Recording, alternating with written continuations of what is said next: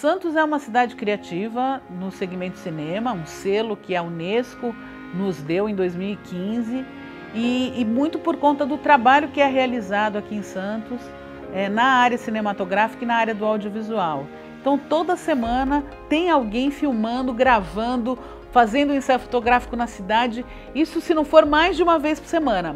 A gente tem aqui um centro histórico lindo, a gente tem uma praia, a gente tem morro, a gente tem mangue, a gente tem várias possibilidades e isso fez com que a cidade se tornasse um, um lugar onde as produções nacionais, internacionais buscassem para fazer suas obras. Né? A gente tem o Instituto Queiro, que faz um trabalho belíssimo com uh, o ensino do audiovisual para jovens em situação de risco social.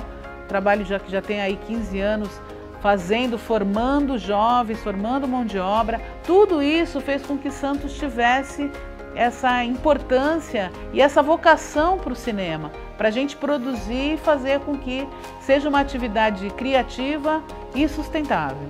A expectativa para Júlia é maravilhosa. A gente vai receber muita gente e a gente espera que todo mundo curta muito essa cidade, que é uma cidade linda, uma cidade de cinema.